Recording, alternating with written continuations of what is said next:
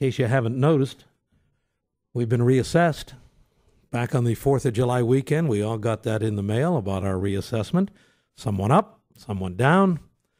But the ones that went up, there just seems to be it's a bit on the unfair side. So says a group called Indiana County PA Against Tax Reassessment.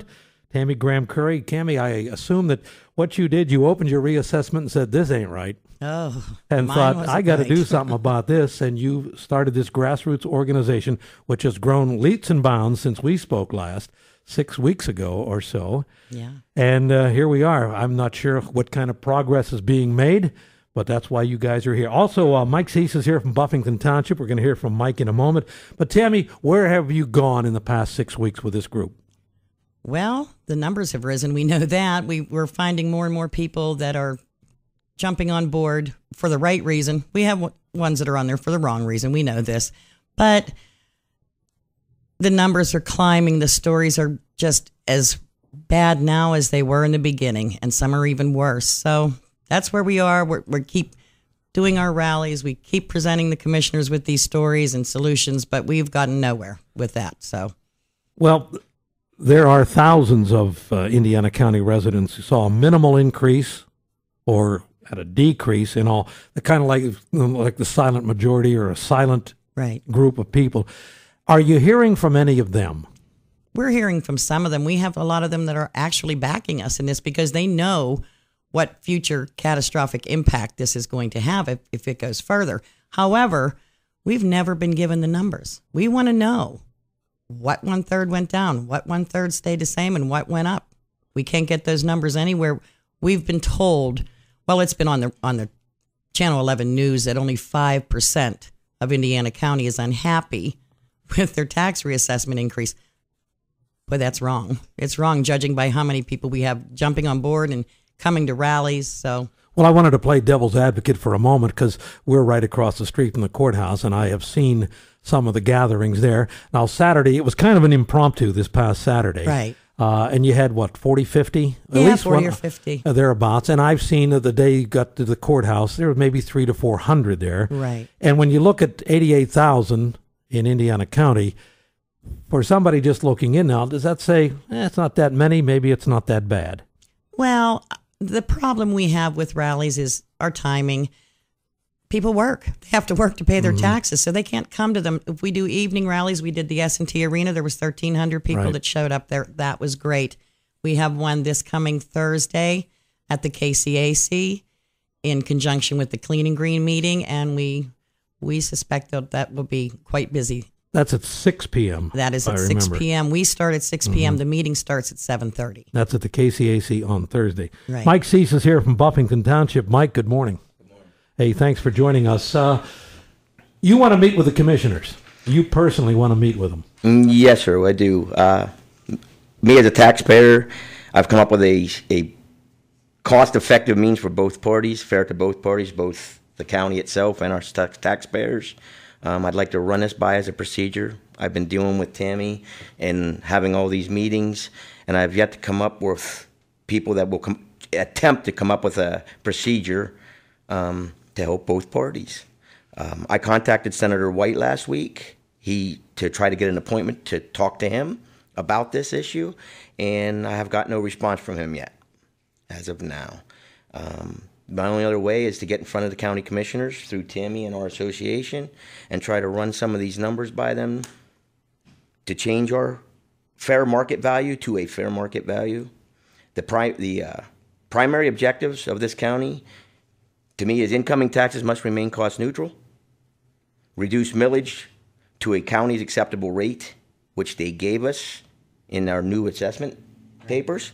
I'm using the numbers that they have from that assessment assessment company because we paid them, we might as well use them. Mm-hmm. So you would like to sit down with the three commissioners and say, here is a proposal. Yes, sir. I have it written out. I'd like to introduce a process using data collected by this the assessment company and mailed to us in our reassessment change notice. Be reviewed by our elected Indiana County officials. This process attempts to satisfy all three primary objectives and be fair to both the county and Indiana County taxpayers. And you feel that they may be receptive to this? Yes, sir. I've dealt with them enough that they will be receptive. I'm hoping it's in a very timely manner. Now, have you gotten a response from the commissioners? Sir, I have not tried to approach them yet. I started with Senator White, and I have not heard back from him, so this is the next step. I got with Tammy, and she invited me this morning. And we'll be walking across the street when we're done here. That's so- convenient. We're right here. Right across the street. Well, as, as far as the commissioners go, we know Mike Baker had the open letter Yes. against it. Uh, Rod Ruddick and Patty Evanko are taking a lot of heat over this. Um, again, devil's advocate. What I think uh, Commissioner Ruddick is saying is let's let this thing run its course and then we can decide what we want to do. Why don't you think that's going to work? I don't think it's going to work because of all the agony it's putting people through. I don't think it's going to work because ultimately we're going to go through the formal appeals. Nothing's happening. They're not getting any results back till November. Then you have to go to the court, But the appeals court with this one too. It's just it's not a good solution. It's not. It has been rescinded in other counties. It needs to be rescinded here. We need to st- we need to utilize our own tax assessment employees. We need to utilize them. We need to utilize realtors and appraisers from our area that know fair market value. And we need to hire some citizens who have been out of work and get them on board with this and help with this too. Instead of paying retired people on a pension $130 a day to sit on an appeals board, use that to fix this. That's not mm-hmm. fixing it. People are walking away very upset. I think one of the things uh, we always, our Chamber of Commerce and everybody says, you know, buy locally. Yet when they do this process, they went out of the community to have people come in who didn't know where Trade City was from Buffington Township. Exactly. You know, and uh, and that is a tough. And it's not an easy job. Assessment is not an easy job because you don't know the area and you're standing looking at property and, and you can only you have information and you make a, a guess. And basically, that's what's happened to guess. You say people are. Uh, having a hard time with this, and I, I know mainly uh, the elderly. Yes. They are really having a hard time with this because they don't have the wherewithal. They don't know how to do the computers. Some of them, some Right. of these folks, so they have to pay to get a get somebody, an attorney or something. So it's expensive. It is very expensive. It's very costly. You, uh, a lot of people need an appraisal. I just had a friend have his done the other day. He paid a total bill of thirteen hundred and fifty dollars just for the appraisal of their farm. but they're making It good. taxpayers pay their money right to do that. and we're paying our money to to fight this and uh, they want four copies of this and, and printing costs and photography and, and everything else but just the whole mental duress that people are under Yeah. without with this it's just it's it's sad it's very Guilty sad. until proven guilt, uh, innocent. exactly is what it is. And it's- exactly Yeah. and i call their you know when i listen to the stories i've now come to call them victim impact statements like you would give to a judge at a murder trial because really seriously it is the slow murder of this county if something's not done if I if I may interject, um, I came up with a process that I want to bring in front of our county commissioners, and I would just like to lay this out to all my constituents and my fellow taxpayers to come up with a fair market value. Look at your property assessment that we got in the mail. Using the old reassessment change notice, take the old 2015 tax total. Oh, I just want. I apologize. That's all right. I need you to do first reduce the millage. I need you to use the restatement change notice. Take the new reassessed value, divide it by the 2016 proposed taxes. This will identify the millage slash multiplier that the county have has deemed an acceptable rate. Using the reassessment change, take the old 2015 tax total and multiply it by the new reduced millage, the number that you just found. This will give you a new assessed value, fair market value of your property, in my opinion. And this is what this is one part of this uh, procedure that I want to take in front of our county commissioners. Now, do you feel that you have eyes on the big picture? I've been in front of approximately 30 people uh, that I've run this by, and it has worked every time. As far as they're happy, I believe our county commissioners will be acceptable to it because we're using the numbers from the company in which they hired. So that kind of saves face because everyone's kind of trying to get it thrown out, and I just don't see that happening. Now, I think it's fair to say that most people listening and in this situation, they don't know how to do what you just said. Right, that's- you know, they've opened that letter and saw that new number and went, "Oh my gosh, how are we going to do this?" Mm-hmm. So they're not able to do this, and because it's it's a little complicated thing. And Tammy, I'm sure you can say a year ago, Life was good. You didn't know anything about this stuff.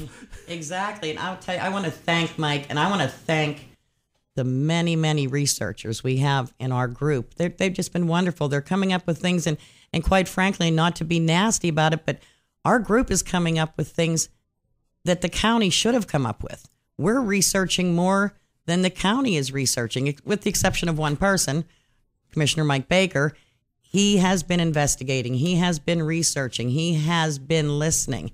And for that, we commend him highly. Now we want Commissioner Ruddick and Commissioner Evanko to listen. I am privy to Commissioner Ruddick's statement that's going to come out today that he is not going to stop the process, that he's actually going to add some extra consultants and expertise to the project, which, what does that tell me? More money spent on this particular problem. It's not fixing it, it's extending it. And he said about extending the deadline past November 15th. You can't possibly do that. You can't possibly do that because the tax notices have to go out. If I may interject, the county seems to be forcing us as taxpayers to prove our properties are faulty. Mm-hmm. They're giving us a very high number and telling us to try to drive it down.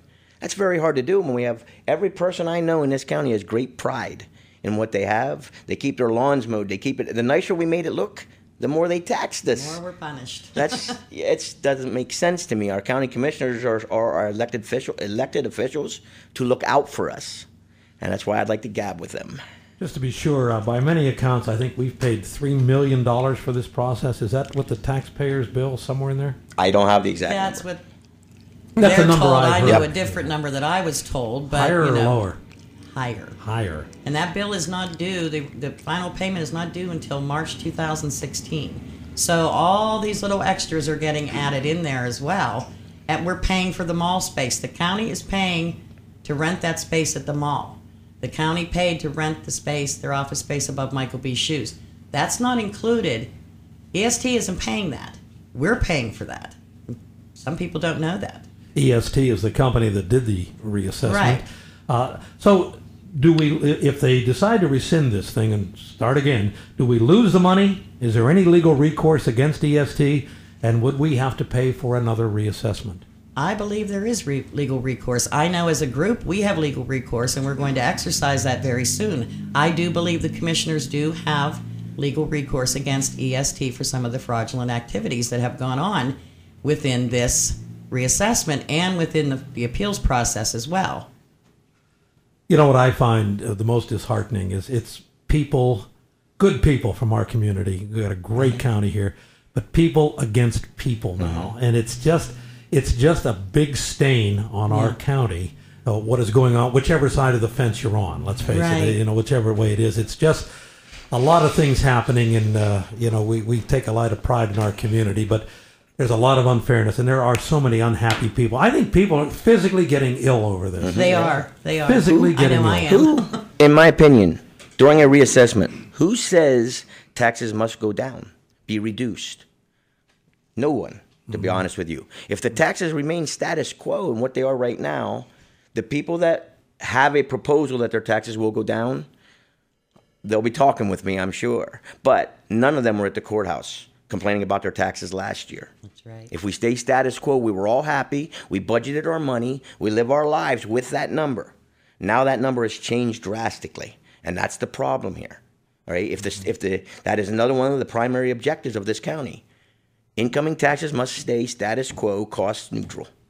If they remain the same, that's easy for the next year. You go from there. You're changing their millage down to what they want. It can start climbing as of the year 2017. They'll start using millage on the new proposed fair assessment values of our farms, which I'm proposing. Well, I wish you luck with that. I you. Would, I'd like to think that our commissioners would say, "Mike, I'd like to talk to you." Thank you very much. I would like to think that they would do that. I hope so. You know, we, we have good people in the community. We got some brains in this community, and Mm-hmm. this this has to be solved locally. And uh, but what a mess for six weeks, six seven weeks. Yes, Tammy, sir. you've lived it Yes. You betcha. more, more than you care to admit. a lot of lost sleep, a lot of lost meals, a lot of lost um, out of touch with my family and Yeah. Friends and everything else. But Yeah. I've made a great group of friends with this group too. Wonderful people, absolutely wonderful people, and with such compassion and passion for Indiana County. Absolutely. We want to see Indiana County stay here. We want people to stay here. We want it to grow. We want to bring industry back. It's not going to happen. Not with this. Not the way it is. All right, so the next step, uh, well, for one, 6 p.m. at the KCAC on Thursday, you need a big crowd to really we show need support. a big crowd. I'll be there. You need a two. I know that. He's, he's always there. But you, you, you need a big crowd to really show that hey, there are a lot of people are affected by this, Right. and uh, the show of support, and that's after work hours. Yep. So this is kind of a barometer of where you are with this thing. So that's, right. at the KCAC. There's a lot of parking. That's right. There'd be no Across problem the street whatsoever. of Bilo Lot. Six o'clock. Yep. Uh, I, I think we're going to see a lot of the farmers and the large landowners at this one, which is great because we need them to be seen and heard as well because they are going to lose their land if this goes through. The group is Indiana County PA against tax reassessment increases. Could have been shorter, but that's a heck of a term. Uh, and you can uh, put that on Facebook and uh, kind of read along with some of that. Tammy Graham Curry started all of this and is fighting the good fight. Mike Sees from Buffington Township proposal. And we call on the commissioners to talk to Mike. We hope that they will do that. Thanks, folks, for coming in. Thank in. you, Bill. And Thank uh, you. we do appreciate your efforts on behalf of Indiana County.